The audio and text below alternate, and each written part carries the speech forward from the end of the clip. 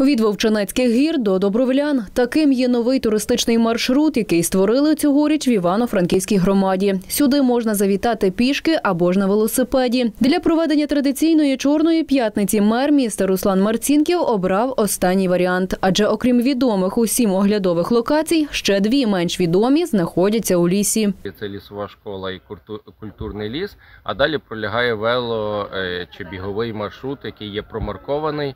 Він пролягає крізь села, такі як Добровляни і Колодіївка, а також по маршруту встановлені велозупинки, де можна зупинитися, відпочити Ба більше кажуть чиновники, цей маршрут нікого не залишить байдужим. Е, Ці локації, байкпоінти, які облаштовані для велосипедистів, де можна присісти, можна розкласти пікнік, поїсти, провести весело час е, чи зробити якийсь там елементарний ремонт велосипедів, ось які облаштовані велосипедні стійки, можна док- докрутити якісь там гайки чи підкачати колеса. Все це разом, це вся інфраструктура, плюс оцей краєвид, пейзаж природи. Вони, е, вони тебе обов'язково стимулюють, заставляють сюди приїжджати.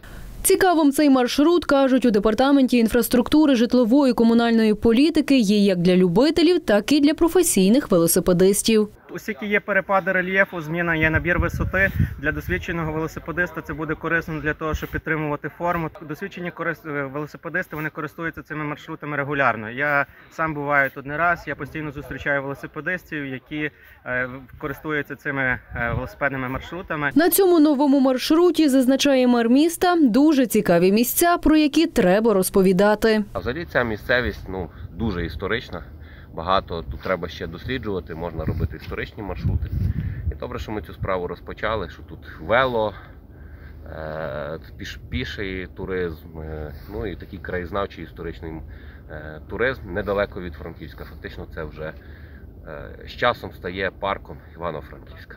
Облаштували туристичний маршрут у Вовчанецьких горах за кошти Європейського союзу.